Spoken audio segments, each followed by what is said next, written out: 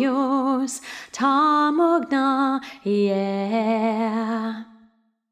One happy birthday dot com.